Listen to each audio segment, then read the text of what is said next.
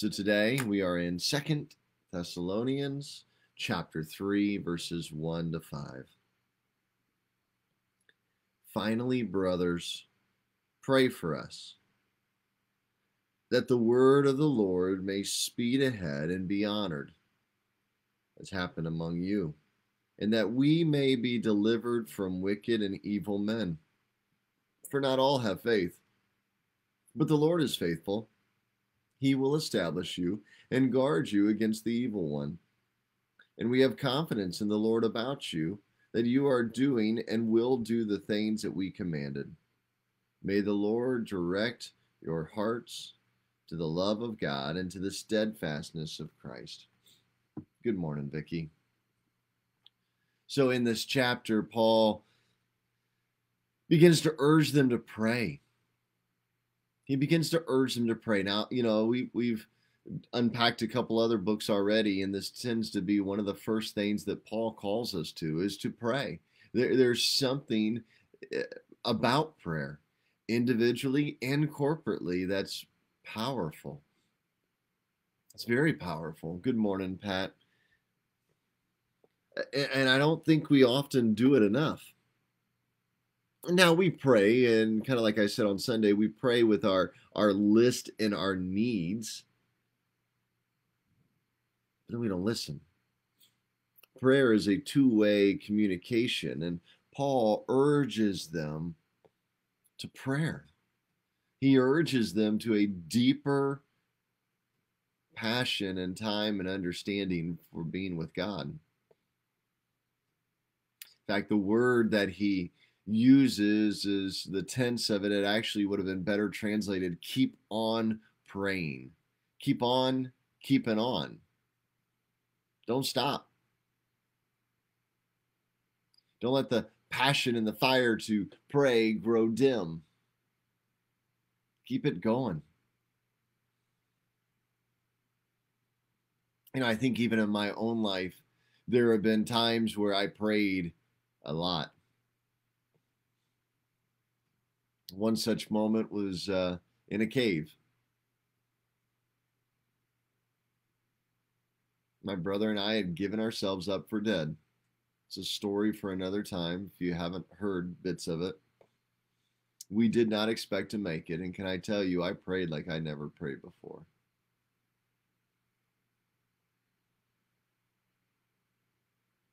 And for a while after that, I prayed like I'd never prayed before. And then it, if we're not careful, starts to grow a little more routine. Paul challenges the Thessalonian church and us not to forget prayer. Not just as a cursory glance over our food, but as a deep, abiding, growing, living in prayer. Pray continually, right? He then asks for prayer. He asks for prayer that the gospel will spread and it'll spread swiftly and successfully, right? You know, the gospel, the good news of Jesus Christ, the, the good news, the word of the Lord. It's what he wants to spread. Know, that good news is not Paul's message. It's not my message. It's not any other pastor's message. It's the message of Jesus Christ, that God is the author and grace is the subject matter. Uh, that's what he wants to spread. Knowledge about Jesus Christ and grace, his saving grace.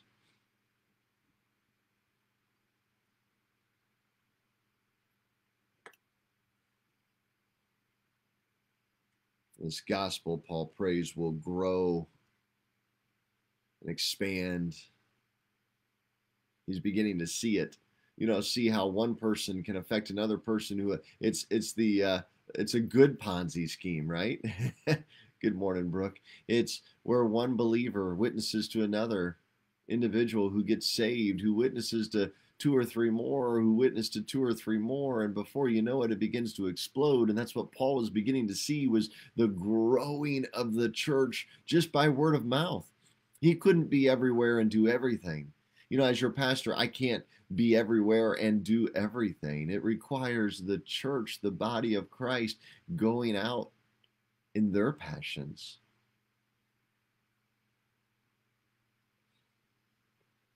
Second thing is he prays that he and his team won't be hindered by evil, by evil men. Now notice he doesn't call out who they are. He doesn't call out Rome. He doesn't call out the the laws of the nation that are maybe holding him back, the empire. He he calls out evil men. He calls out those who are living, acting, working in evil. Some of these he doesn't say they were all outside the church. We often see later in some of his letters that some of them were inside the church. We'll see in Timothy some of the look at the Gnosticism that was seeking to be entered, because sometimes even, dare I say, even well meaning believers, we sometimes, if we're not careful, can spread evil. We can spread falsities. You know, I've I've dealt with quite a bit the old mantra of, well, you're sick because you didn't have enough faith. Or you're depressed, or you're anxious because you don't have enough faith.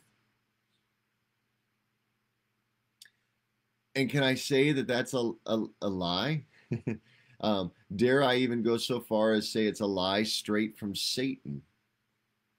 To try to make individuals feel like second class Christians.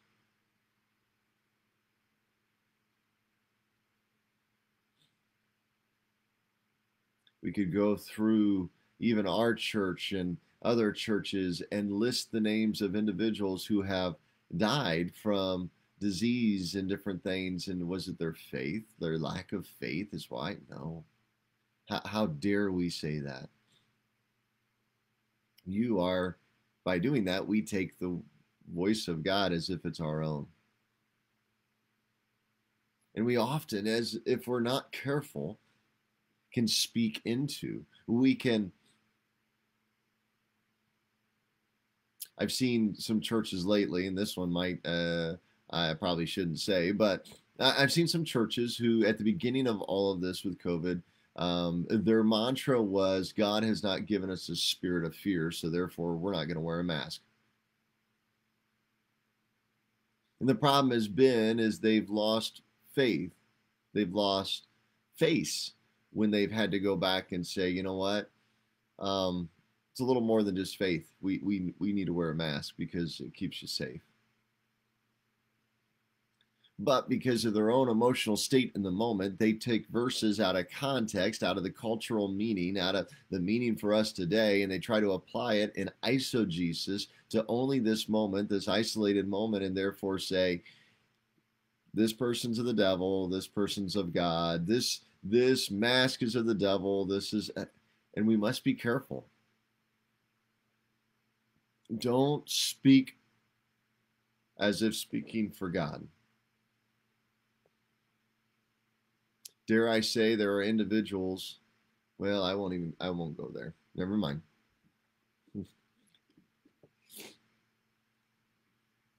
But Paul calls out the evil around them.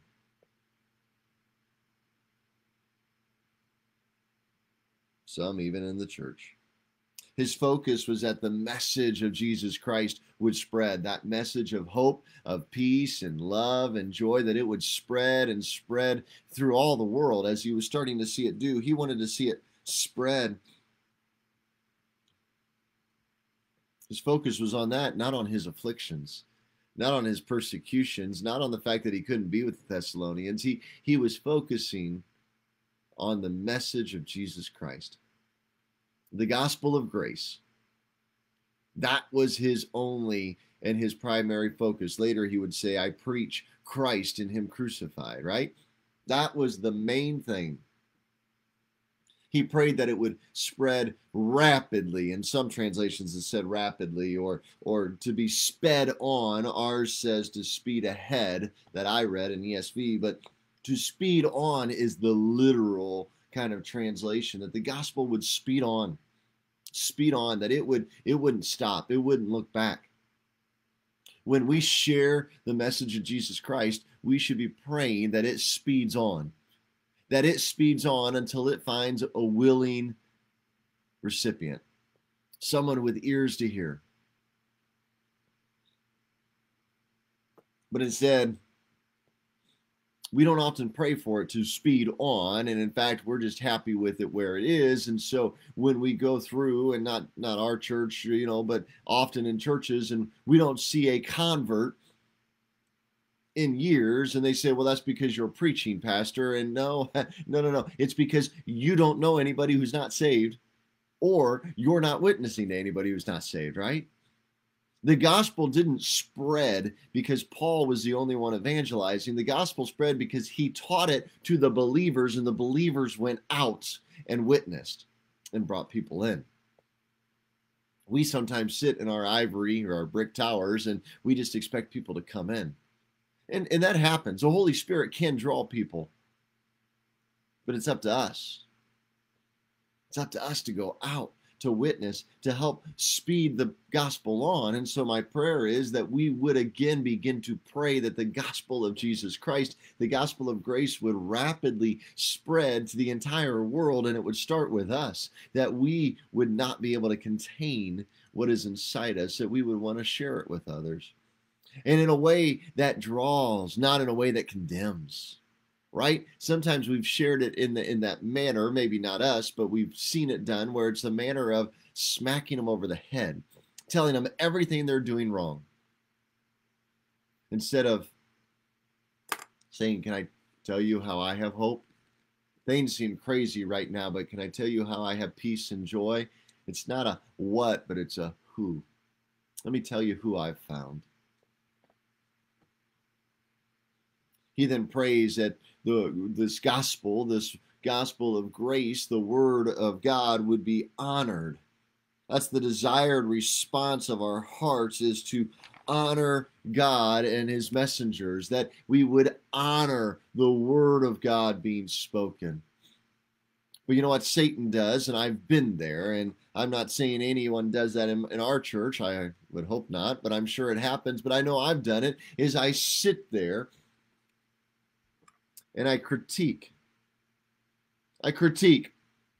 Instead of hearing the word of God, I sit there and go, well, one of the first things you learn in communication, and I was a communications major first, was um, you don't say words like um, you know you don't you don't have filler words. And so I'll count those. I'll get distracted and I'll begin to count the number of times. I'll begin to, to pay attention and go, well, that point never fulfilled itself. They never followed that back up, or they mentioned this at the beginning, they leave you hanging and they never came back to it, or or they only said one out of seven points and clearly, and so I don't know where they were going. And and, and I critique the messenger.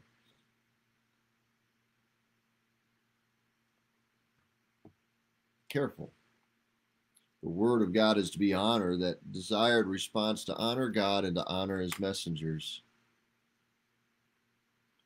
We're to receive the word with faith, to receive the word. Eh, the, the word is the, the what, the who that transforms us, the what being the scriptures, and the who being the Holy Spirit, God the Father, Son, Holy Spirit, you know, who transforms us. Eh, just as it was with you, he reminds them, just as it was with the Thessalonians, that their past and their acceptance of the gospel, that this would rapidly spread and be honored throughout the world as his prayer. That they would become the model, the model for all who would be believing, you know, come to know Christ. You know, sometimes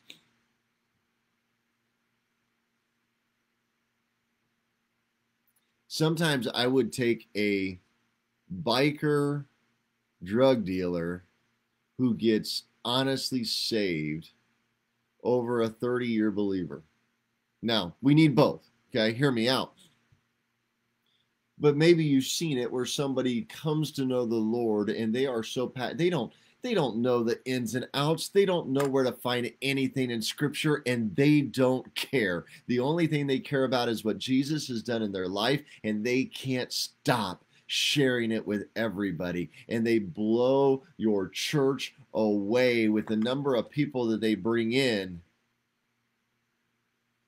And yet, we who've been around for a long time, who've been saved, who maybe have the knowledge, who might have the the the wisdom and discernment of God because we've been around longer, somewhat lost that passion. We we we see it as being naive and we're like, well, that'll end soon.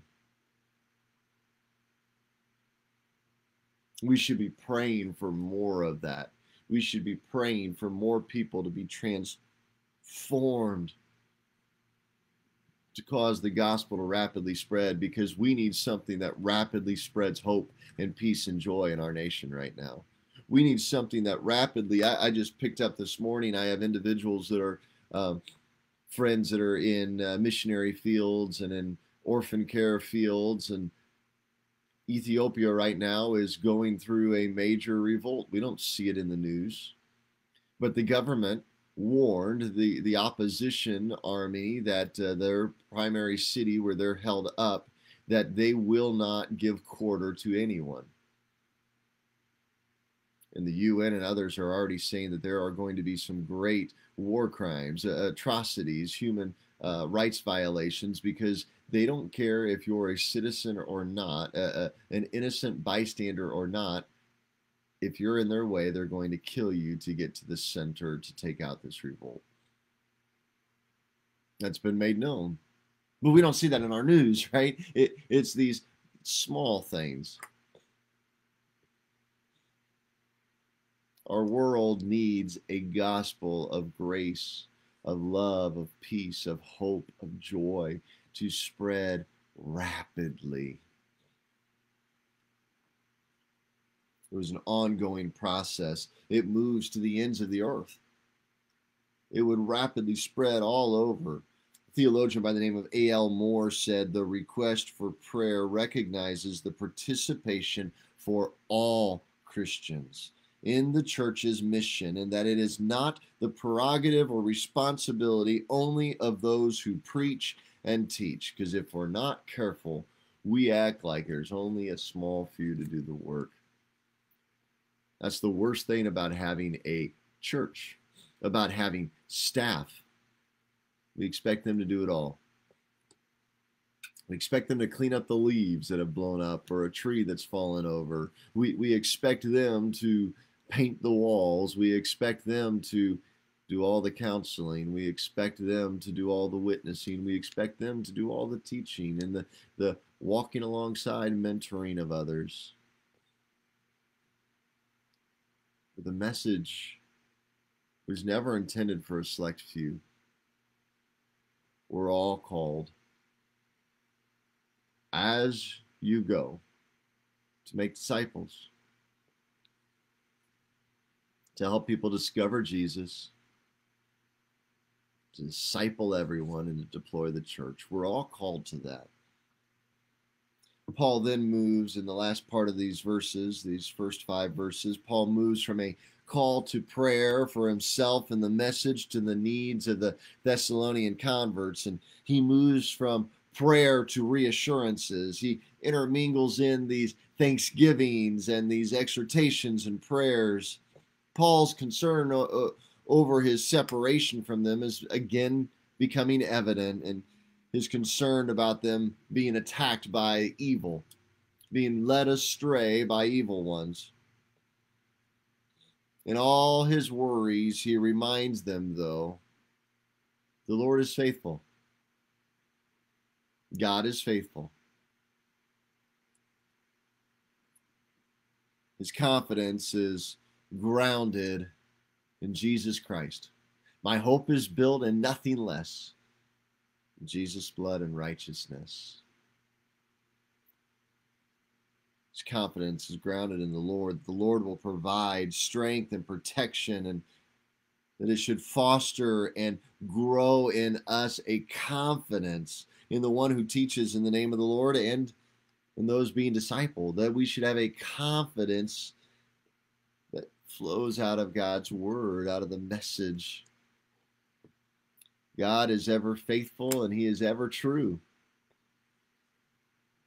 To him alone we look for courage, for strength and stability, and for protection and deliverance. To him alone.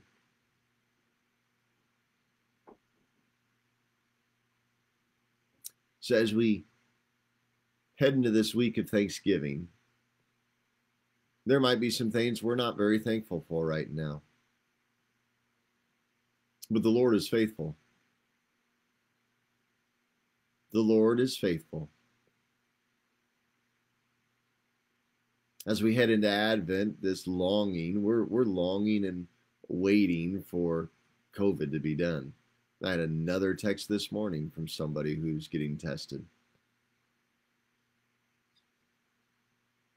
We're ready for it to be over. But while we wait, a year is nothing in comparison to the Israelites' over 400 years of silence from God, over 400 years that they were in Egypt. It's nothing compared to the years of captivity by the Assyrians, years of captivity by the Babylonians in exile, not even able to worship.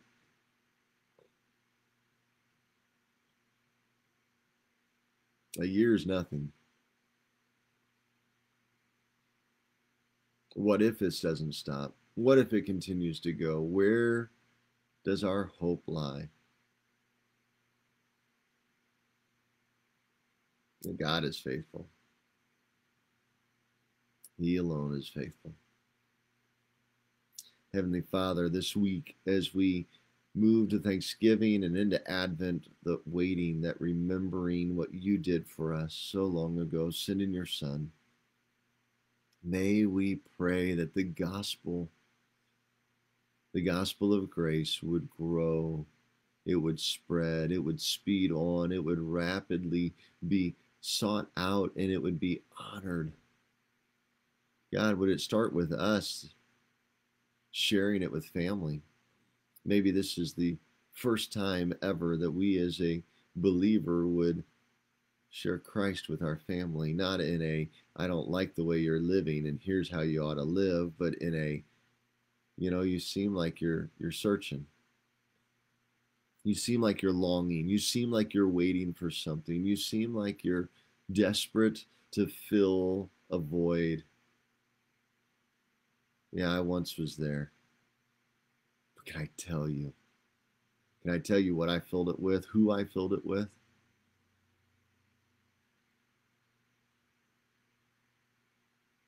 God, we ask and we pray, we plead the message of the cross, the gospel of Jesus Christ would spread rapidly once again. Start with us, start in our church, go to our village, to our county, our state, our country, and our world, God.